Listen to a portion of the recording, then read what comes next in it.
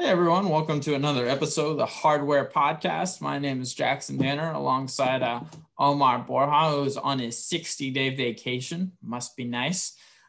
Um, and uh, you thought we were done with FCS spring football. We are not. We are right back at it, going over and reviewing uh, Phil Phil Steele's. I'm, I'm sure a lot of you guys have heard of him. Phil Steele's uh, 2021 FCS All American teams. He did a first, second, and third team uh, for each position. And uh, we're just kind of going to be doing a little deep dive into that today. Yeah, I'm pretty excited about this. Uh, we have three teams for the players, and we're not going to hit everyone, of course. That would take forever, but we'll just hit some of the guys that really wowed us and some of the more interesting discussion pieces. And it has indeed been a while, and we're not going to go away from talking about the FCS for sure. I mean, in the fall, of the hardware pod will cover the FCS award races to some degree, along with you know the Heisman and other positional award races. Yeah, definitely. the Buck Buchanan and Walter Payton awards aren't going anywhere. We're gonna we're gonna be covering those as well. And um, full blown warning: just because we disagree with a lot of Phil Steele's uh, picks does not mean we could do a better one. I just want to make that clear because I don't think I could do a better job, but I definitely disagree with some of this stuff. Yeah, I mean, I've been a I've been a loyal Phil loyal Phil Steele reader for the last 12 years since 2009 and have a lot of respect for him, but it's all about discussion. I mean, that that's that's the great deal about America. It's all about discussion and free speech. So was there like a like a 4-year gap between when you first started reading and then first started reading Phil Steele? I'm trying to do the math in my head. If you've been reading Phil Steele for 12 years, that's impressive because I mean, you're not in kindergarten, you're not going to be able to read, you know, you can read some, but not not Phil Steele levels. That man, pretty much as soon as you started reading, I guess that's impressive. Yeah, I mean, I, I always bought the Athlon magazines too, but the yeah, about Phil uh, Steele, yeah. yeah. yeah, Phil Steele. I guess those were Phil Steele, so I guess I've been reading off and on for that long. Uh, let's see. So let's, let's dive in right into the quarterbacks. Um, do you agree with having the Walter Payton Award, aka the best offensive player, as the th- not first or second team, but third team quarterback? so, in an odd way, yes, and I'll give a reason for each quarterback. Um, so Barriere Barriere balled out out in the Big Sky, and the only reason people weren't talking about him more is because uh, one, they're on the West Coast, and two, their TV contract, their national TV contract was Pluto, was with Pluto TV, which a great idea in con in concept, free uh, free streaming, but a lot of schools just didn't have the production equipment to make good productions, and it just wasn't as accessible as other uh, or or well known as other streamers like ESPN Plus. So Barriere balled out, and it also feels like a career achievement type thing because he's been doing this for a few years now. So it only feels right to make him first team All American. I mean, if you think about 2019, he was robbed by Trey Lance. You know, uh, not really robbed, but Trey Lance uh, got the better of him on the All American teams. So it just feels right to make Barriere the All American this year. Second team, Schmid. Uh, I agree with that as well. A winner, and he had, and he had some great statistical games too, as we talked about earlier in the season and that also brings up i think i'll answer your question with another question is like like why would why wasn't eric schmid a walter payton finalist? That's something that, that really puzzles me and he played like he you know he was angry about that in the playoffs. Now cole kelley third team put up amazing stats tremendous stats um and i i think phil steele looks at the head to head and with uh, sam houston in the southland how uh, Southeastern Louisiana did not make the playoffs. They probably would have made the playoffs had they beaten Southern Illinois, but Southern Illinois got the better of them. So, I mean, I, I can see where it happens, and I know it sounds strange, but I, I agree honestly because I'm sure there's other years where the highs where the Heisman, there's years where the Heisman winner doesn't make first team All American. Like, uh, I know you're gonna see when I mention his name, but Eric Crouch in 2001, I don't think an option quarterback made first team All American. Yeah, um, yeah, I can definitely see that. I mean, Cole Kelley, all of these guys had great seasons. I'm not trying to dish men or Barriere or anything, um, but it's it's just interesting to me that Cole Kelley is the third team. When we walked away after our conclusion of the Walter Payton Award, we walked away like, yeah, Cole Kelley seemed like the right winner, you know, and now that he actually won it, I think we can kind of see that. But um, Eric Schmid, um, if Eric Schmid doesn't win the whole thing? Do you think Cole Kelley maybe takes second team instead? Or do you think Schmid just being a winner kind of kind of seals that. I think. Uh, I mean, I guess it depends like wh- when Schmid gets booted, because I mean Kelley. If you look at the last game they played, like Schmid played the last game in the FCS, Cole Kelley hadn't played since April 17th. So maybe recency, I wouldn't say bias, but recency was a factor in it along with winning. So I would, Yeah, I, yeah, I, I guess I, I'd say yes, given to the head to head, because Schmid, like, the, I mean, his stats weren't great, but he had moments of brilliance in like the regular season where he had like Cole Kelley like games. Uh, I think against like especially against Nicholls State um, earlier in the year. So I, I'd say yes. Yeah, okay, that that's fair. Yeah, I, I would agree with you on that. I think it'd be Barry or Kelley Schmid if Schmid doesn't end up winning at all.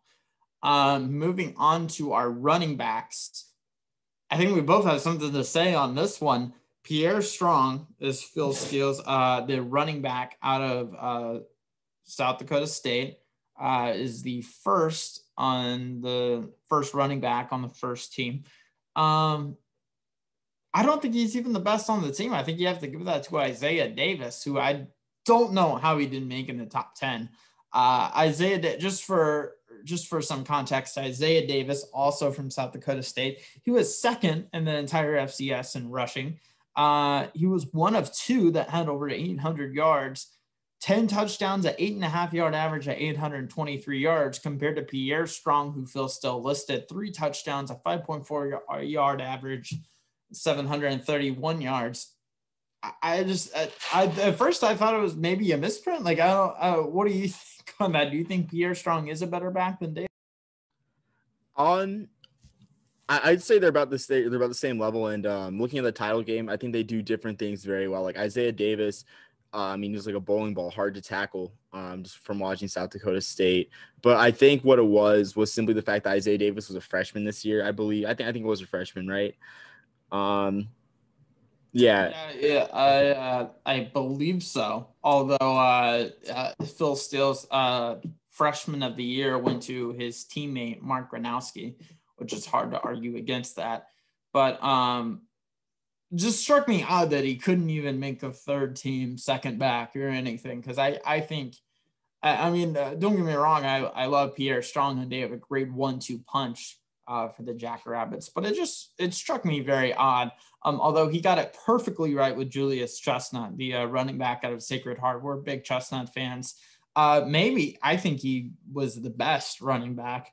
Uh, and he also led the nation in all purpose yards. He got involved in the passing game. So Chestnut was great. Uh, Otis Weah, another guy we're a big fan of. He came in on the second team, running back out of North Dakota. We still have point to that game versus NDSU, or maybe they would have hung around for a little bit longer if they have kept in on the ball the way. Uh, um, what what do you have to say as far as the uh, the remaining of the the second and third teams?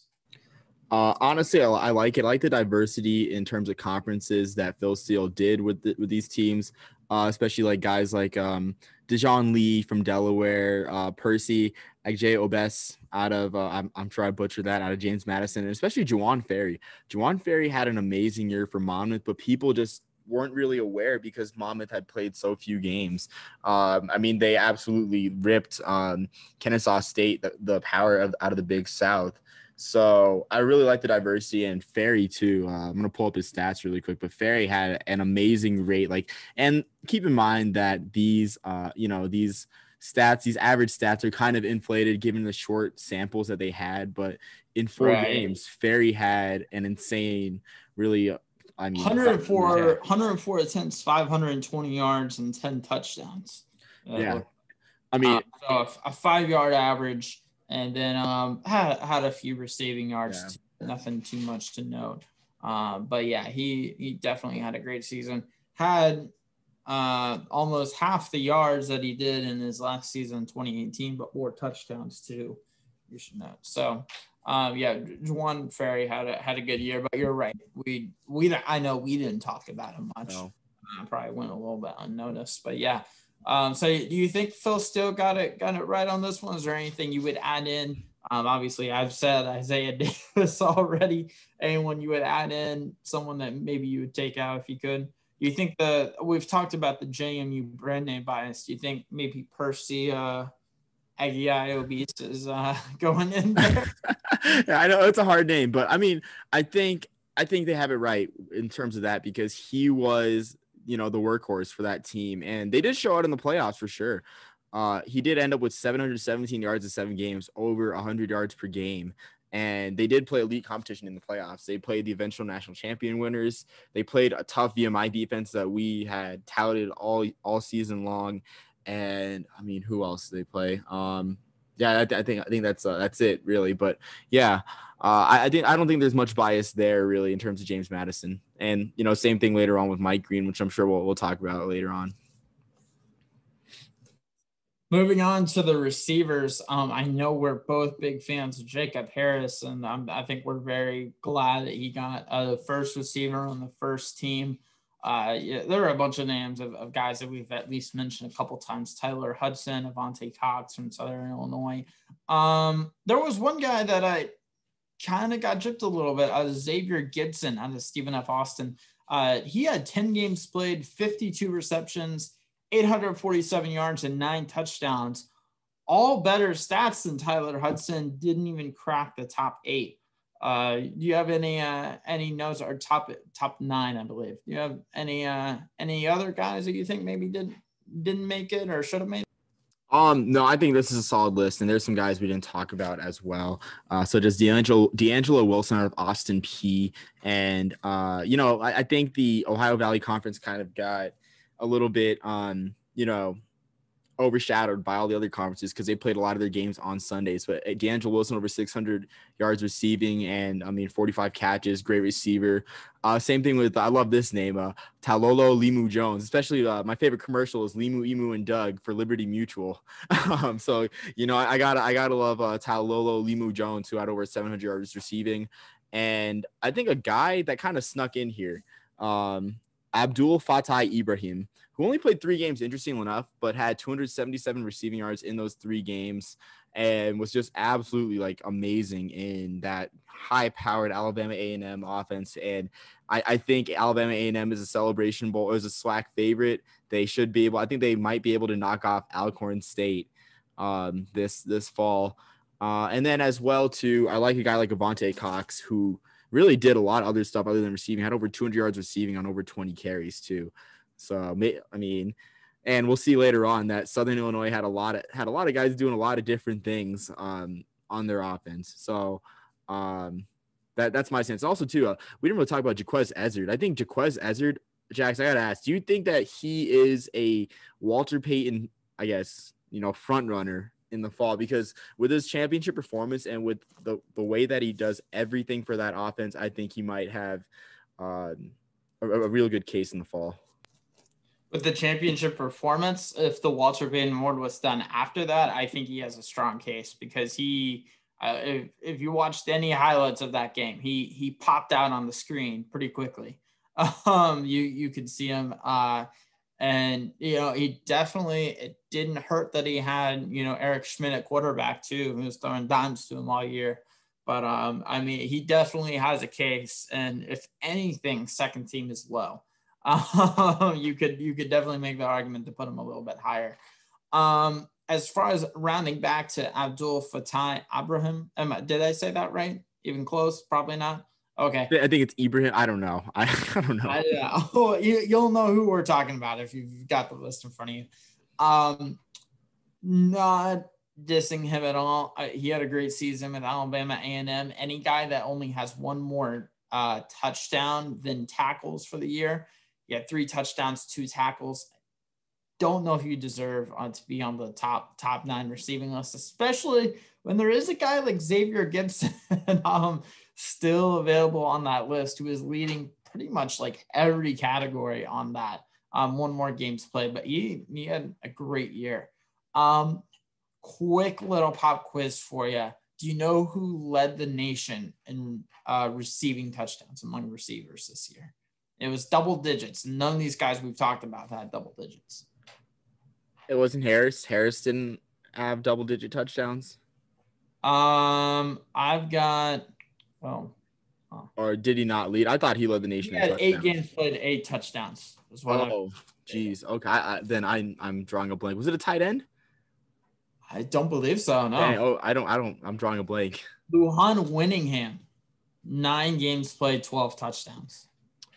Oh, and okay. Wow. I forgot to write down his school, which is kind of embarrassing. But actually, I do have one um snub. I think I think this guy's a snub for sure. Uh, out of Delaware State, Trey Gross. And anyone that watched Delaware State's games on, you know, tape delay because they were they were tape delay kings. Um, a couple of their games were got the got the morning slot, the Sunday mornings uh, rerun slot on ESPNU, and I gotta say that uh, I did watch a couple, but Trey Gross, absolute big play threat, jump ball threat, 6'4", 210, 248, 17 catches, 248 yards, but five touchdowns, including a monster stretch against uh, against Howard and South Carolina State, where he had five catches, 175 yards, and five touchdowns. Um, absolutely amazing. And I thought that maybe if you're going to include um, a, a, receiver who played less games, maybe you go with Gross instead of um, you know Fat, Fatir Fatir Ibrahim.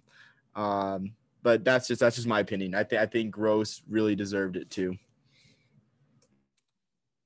Uh, Lujuan Winningham went to Central Arkansas, and I got that stat from the NCAA website, but the Central Arkansas site does not show that he even played in the 2020 season. So I don't know if that was a mishap on the uh, NCAA's website. Wouldn't be the first mistake they made. So, um, now we we could go ahead and move on to tight ends. Um, what do you think about uh, who they got? Trey Berry, Ryan Miller, Rodney Williams. Um, any guys you think they missed? Any guys you think they should have added in there? Um, I thought they had it pretty solid. Uh, just a bunch yeah. of great um, red zone threats, especially um, especially a Rodney Williams. I think Rodney Williams, I think, was a huge red zone threat for UT Martin, and of course, overshadowed a bit by UT Martin's lack of success. But really, I mean, I don't think you can go wrong with any any of these guys. I, I do want to ask: Are, are we going to talk about the fullbacks? Because I mean, I thought it was um, I thought it was awesome that Phil Steele had a had a you know a, a slot for fullbacks on this team. Yeah, and uh, does he though? If it weren't for Hunter Luepke, like he just dominated. I mean, he made a name for fullbacks um, in general. Just made you appreciate. I, I remember he had his first game back was against North Dakota, and he had a couple huge plays in that one uh, he was like one inch away from like a 70 yard touchdown. I mean, it got put like right, it was almost touching the goal line right there. I think it, I think it got called back actually. It was, it was very close. Um, one guy, as far as that, um, that, uh, I think he might have missed, in my opinion, was a Hayden Hatten. Uh, he's a, a tight end and he had 518 yards this year and only five games played, which is double what Ryan Miller out of Furman had on his second team. Uh, something that that I thought was was interesting at least. He only had two touchdowns, but five games played, 34 receptions, 518 yards for the year. Yeah, I mean, if you go if you go with yards, um, then that that's true. But again, like Miller just being a red zone threat, he only had 15 catches, but six of them went for touchdowns. So it was like in the SoCon, you knew where the ball was going in the red zone, but could you stop it? You, you know, so I think I think it's perfectly served putting uh, Ryan Miller in second team. Oh, I mean, I would agree with that. If anything, I would keep Miller there and then maybe take out Ronnie Williams. But I, I'll be honest, I haven't seen enough uh, enough uh, plays on either of them to really make that judgment.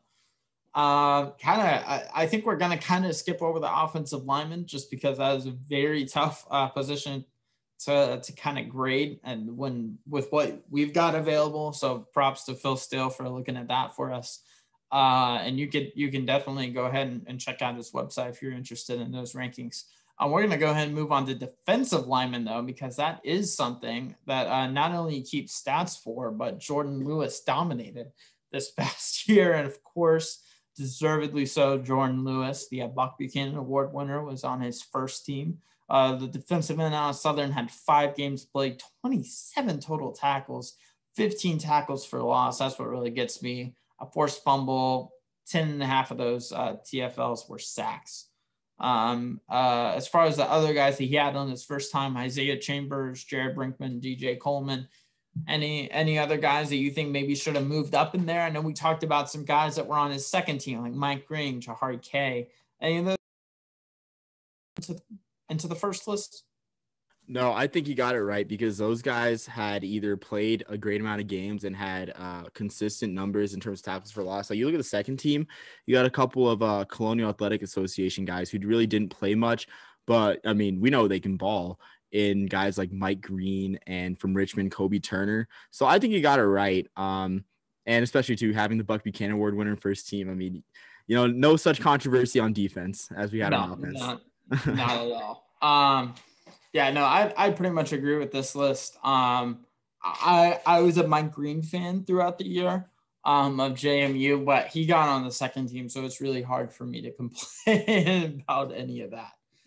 Um, kind of moving on to the linebacker group. Um, we got some VMI representation, which was the important thing with Stone Snyder, and deservedly so. Anytime you have 88 total tackles, that deserves to be mentioned. Uh, he was averaging 11 of those a game. Um, as far as uh, Colby Campbell, Trey Walker, Bryson Armstrong, any disagreements with those? No, I mean I don't. I don't have any because I think Trey Walker had 54 tackles in four games uh, at a clip of 50 or 16 per game. Excuse me, my division skills failed me. I, I do think this. So one thing that does get me about the linebackers is where's Connor Riddle because I know you got Stone Snyder, but Connor Riddle. That's why. I mean, that's why that was the first. I have then my notes. Connor Riddle. Where, where is he on this list? Because I don't think you can have Stone Snyder on the first team and then Connor Riddle not mentioned at all. He had 20 tackles against Citadel and against an option offense. Like, I mean that that that should say something. And yeah, say you can say inflated stats. You know, a middle linebacker playing against a triple option team, but. I mean, earlier too, with getting in the backfield as well earlier in the year and his his tackle for loss numbers, I think they were better than uh, Stone Snyder's. I'm not too sure, but he had nine and a half tackles for loss. And um, you know, I just, I'm just shocked. I'm just shocked, really, especially even too. He didn't even get any votes for Buck Buchanan, but you know, I, I digress. I mean, with most of these linebackers, I totally, I totally agree. I think it's interesting too. You'll see uh, there's some guys that didn't play much in the linebacking core. Titus Leo out of Wagner and Ryan Greenhagen out of Fordham. I think it's cool that uh, Phil Steele accounted for short sample sizes. Uh, yes, those picks aren't really wow, like you know, wow picks, but they're great too. But and also too, I like Story Jackson's pick. Um, Story Jackson had 20 tackles against Texas Southern in the Labor Day Classic played in March. Um, and just an overall ball hawk in three games, 50 tackles and eight and a half tackles for loss. I mean, if he would have played a full season, I bet that we might have had a SWAC one and two for the uh, for the Buck Buchanan Award. No, definitely, I, I agree with you. And and like I said, my biggest point, Connor Riddle should have been on there but um, not taking away anything from the guys that were listed, but definitely would have liked to see him. Story Jackson, I, I agree with that. Three games played, 50 tackles is just an insane number. Um, so props to props to Phil Steele for putting him on there. Um, and one thing that I forgot to mention on defensive lineman, do you know who led uh, defensive lineman with like a minimum of like five games played as far as forced fumbles per game in that ratio? defensive force fumbles. Was it's it? um, it's like a minimum of five games was kind of my criteria. And, and he's on here. Is second team on there. Second team was it Mike Green? It was Jahari K. Uh, Mike Green actually didn't have any forced fumbles. Oh, okay. Jahari K. Nine games played, force four forced fumbles. Tongue twister there. So um, I, I just thought that was an impressive stat by by K uh, for that. Um, moving on to the uh, to the DBs, um, it was a uh, it was an impressive list. I I I like this. This uh, this is maybe the ones that that I agree with maybe the most. Um, love Cordell Jackson. Only one interception this year, which is a lot of times the first number you look to when you look at a DB, but he had nine and a half tackles for loss. Um, don't let uh, NFL meme pages tell you that guys like Jamal Adams aren't good just because they don't pick the ball off. Like this was a solid list. Uh, got in the backfield a lot. Also had 54 tackles. So I, am going to put uh, Cordell up in the first list, but it's it's hard to disagree with any of these guys. I, I like them a lot. Yeah, I agree. Uh, also, Jackson, I know I couldn't help but notice you skipped the uh, the Southern Utah linebacker that's on uh, on the second team. Um, any chance well, we get you to say his name? La Akia Ohano Hano Davis. There. What what a name. Um yeah, yeah I mean I I would have skipped over two Jacksons. I I don't blame you at all. But thanks for still. but um yeah, for defensive backs, I really like this list too. Uh, I know you're high on a guy. Uh, I was high on Nicario Harper with just like the body work that he had over the long season. Excuse me. Um Robert Rochell, I know that's a guy you like, a, a Senior Bowl oh. alum. Um, yeah. Didn't have much in the statistical way, but the, the scouts like him. Um, yeah. So I, I agree with that. I like Rochell a lot. Yeah. And then James Caesar. Oh my gosh, James Caesar on the first team. Like it's easy to not really recognize, you know, players for if they don't get much interceptions. But Caesar had 15 pass breakups. I think he had one or two picks. Absolute ball hawk for the Salukis. Yeah, and oh, definitely. Yeah, like I mean, I, I, was a firm believer of this. I when I played high school ball, you know, when I when I started corner on JV, um, I didn't have good hands, but I can get my hands on the ball and you know move it to the next down without any yardage. So pass breakups matter too. Sorry, Omar. Not all of us are Jalen Ramsey. Good grief. um, um, guy that I wanted a little fun fact. Um, there is a guy on either the first or second team that didn't play defensive back until college. He was a four-year starter in high school at linebacker and running back. Do you know who it might be? Um, is it? I think I saw when I was doing my research. I, I might have forgotten who it is. Was it? Um, I want to say. I'm gonna go with Philando Jordan. Was it Philando Jordan? It was not. It was Kendrick Whitehead. So you got the oh, right, right. Man. It was both second team.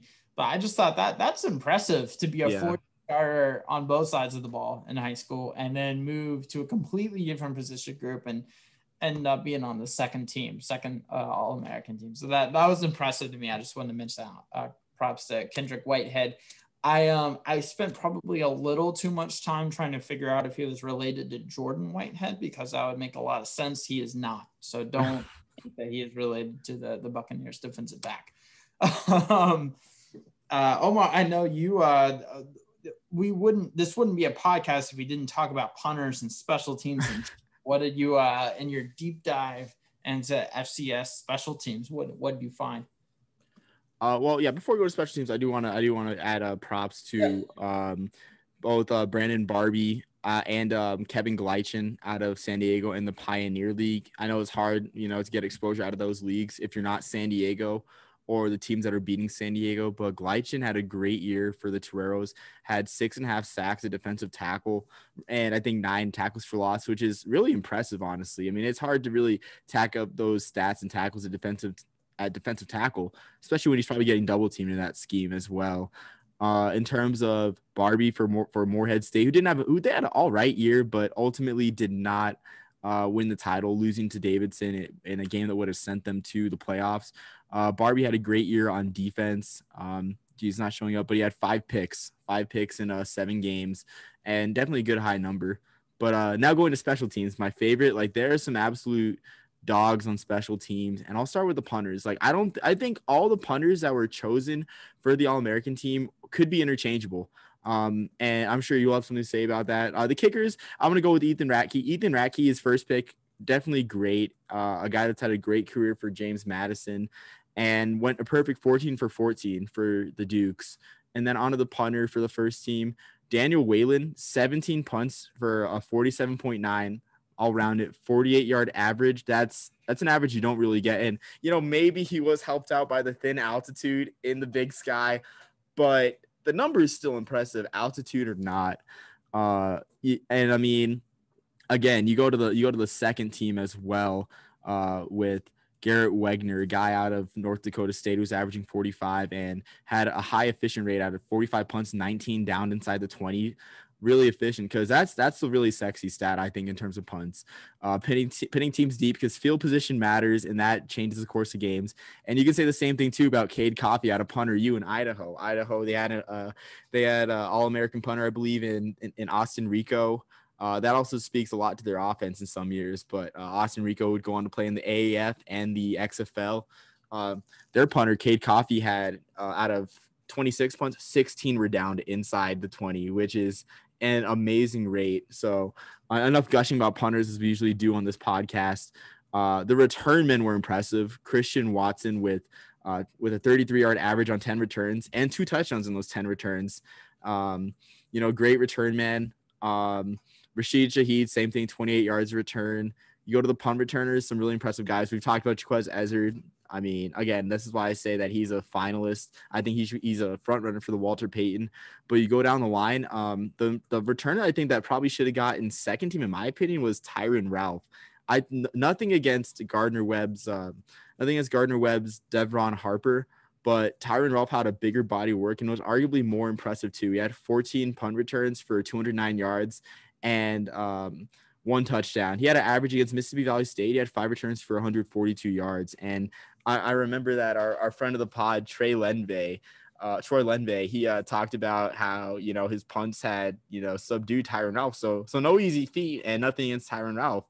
Um, but a really a great return man. And you can say the same thing about Devron Harper, who had a great year for Gardner Webb. It's I'm sorry if I talked a lot, but that that just got my blood flowing, Jackson. Oh no, we're we're talking disproportional disproportional amount about uh, about punters and all things special teams, which I love. Um, yeah, I uh, I agree with all that, and uh, yeah, I mean he did a good job. I think he got the special teams right. I think the defensive backs and the special teams are maybe the two things I, I agree with the most on this list. Um, quick, uh, we weren't planning on this. What is uh who maybe not predict a winner? Who do you think are some teams to at least watch out for next season? Um, let's see. Well, before that, can we, can we talk about? Uh, I didn't really go over all purpose. Um, I, I didn't really know that was special oh, yeah. teams, but there were some. There's some absolute Swiss Army knives on the all purpose side, especially the guy I liked a lot. Uh, Javon Williams, and you think when you think all purpose, you think right. about kick returns and rushing. He had 532 rushing yards, uh, didn't really return many kicks. Uh, he had 12 returns for 113 yards, nothing too impressive, but the man threw the ball a lot for Southern Illinois. He had over 200 passing yards, when excuse me, nine of 14 passing and three touchdowns without a pick. Uh, it's like it feels like 2008 with the Wildcat again. It's like, is this Ronnie Brown or Javon Williams? Um, Kevin Ward too that guy, I mean, well, first, I'm sorry, I skipped over Quay Holmes. Quay Holmes, who returned kicks for East Tennessee State and was a workhorse too, was all. I think he also got votes for Walter Payton. Had over 600 rushing yards and 300 kick return yards. Great choice there. But we were busy talking about Kevin or Cameron Ward the whole year for um, UIW Incarnate Word, but we missed out on Kevin Brown, who averaged over 10 yards a carry, 74 carries, 775 yards. So uh, I missed that. Yeah. Yeah, I missed uh, it too. I didn't realize there was a by Kevin Brown. Yeah, Cameron Ward. It's a quarterback's. It's a quarterback's game nowadays. So yeah, we'll use that excuse. But to answer your question, I guess favors for next year, you can't go wrong with North Dakota State. yeah, that, that has to be one of one of two or three for sure. Um, they're just a machine. Even when you think they're down, they they seem to always pop back up. It's just like you know Alabama and FBS level. It's like anytime you think like you remember all those preseason things, it was like no, Alabama's like actually going to struggle this year because they're missing a bunch of. No, they'll they'll figure out a way. So you have to put North Dakota State up there, even if it doesn't make sense. I think at least I think we could see maybe even two championships in the next three years from South Dakota State, and let me tell you why. Um, their best players, Isaiah Davis and Mark Gronowski, both freshmen uh, it's impressive enough that they did what they did uh, this past year, going to the FCS championship. Got a loss in as a young team. Uh, they're known as a powerhouse, maybe not always as high as North Dakota State, of course, but they're known for definitely being up there. I think we could see a championship from them, if not next year, in the next couple of years, and maybe even two, because they're a young team, got two great young leaders. I think they're really good. Yeah, uh, and I, that would have been my second too, because uh, I overlooked the fact that Gronowski. I was just I was thinking about revenge, honestly, just a revenge tour, and this team has been on the big stage now, and they, they I guess they know how it how it feels, really. Um, so that would have been my oh, second oh, choice. I, I, I, really think they might win in the next couple years. We'll see. I'm picking NDSU for next yeah, year. Yeah, same here. Um, I, I think I, I mean if there was a dark horse I would have to say there's dark horse. I think it might come out of the SoCon if I'm being honest, because the SoCon is a it's a great, well-rounded conference. Um, and you know, it, it, they they play good ball there. There's a, plenty of teams that emerge. I mean, Furman had down year; they're usually a power. Chattanooga opted out early. Um, I, I mean, I'm not going to go with VMI. I think that team is still a bit green in the postseason. But if I were to pick a sleeper, I, I would think it would be either maybe a Furman or um, maybe even a Chattanooga who opted out early. So I, I, that's where I think my dark horse would come out of. But I, I I'm with you with one and two, North Dakota State. I think the title will always run through either the uh, Missouri Valley or the CAA. If I'm going to pick a CAA team, I'm, I'm going Delaware. I think Delaware is back. And going into the the HBCU sector, do you think Deion will be a little more successful in his second year, or you think we're gonna? How, how do you think this is gonna play out over the next couple of years? So the the SWAC is chock full of great teams, and I think we saw that this spring. I mean, you got Southern looks like they're gonna stay for a while. Um, you have Alcorn State. You know, don't forget about the Braves. Don't forget about the Braves. I think um, three time or two time defending Celebration Bowl champs. Can't forget about the Braves too, uh, and that Soul Bowl that they play every single year out there, uh, and also too Alabama A and M. You know, the defending HBCU national champions. So I think, I I don't think he I don't think he's winning the SWAC. I think he'll have a winning season. I think maybe six and five, or I don't know if they're playing 12 games. I think six and five, seven and four is a very reasonable prediction for them. They have talent, but I mean, there's SWAC teams with more talent and just more experience, frankly, too. I mean, Grambling, if you want to call them a dark horse after the bad spring they had, I mean, Broderick Providence's experience out there at in um in it southern and northern Louisiana. Yeah, the SWAC is loaded. Um, and of course, we'll love to see a little bit more love to the MEAC than was given this past year. But I, uh, the SWAC, I think we're loving uh, as far as the depth that they have, and it always will make for an interesting competition for sure. Um, and then, uh, yeah, well, I think our last point that we are going to talk about is was the spring season good for uh, was it a success? Did oh I, I don't know. You tell me. You you th- you liked it? Yeah. So the the question that I thought of when I was doing research, I'm sure you saw it too, was the amount of guys that um, enter the transfer portal from the All American team. Just to name a few, first team linebacker out of Kennesaw State, Bryson Armstrong transferred to UCF. Spencer Waege, or no, not Spencer Waege, excuse me, John Ridgeway transferred to Arkansas. Uh, we Colby Campbell, his uh, transfer to Duke was a big one. Uh, and for me, I did not see that Colby Campbell one. That that's going to be something for Duke. Yeah, oh. it, it will be great for sure. Uh, might might help them get to the um the Birmingham Bowl, but uh, I'm sorry, I'm not throwing a shot at Duke fans. I just want to make a joke. Taking a shot at Duke like that, man. I'm sorry, they, they didn't do anything, but um, I again, I think people are saying, "Oh man, we love the spring season, we love the exposure," but coaches, I don't think they're loving it. You know, they're seeing the players get. Oh poached. no, like, no, I, I, I don't think, think, it was. Coaches like it at all. I think from an exposure standpoint, it's great, but coaches don't care at all about exposure. I feel like I feel like they care about how many games they win. You know? Yeah. Um, that, that's what you're trying to do. That's what you're getting paid to do is go win. And it was nice having more guys see how more people see those these guys on TV and stuff.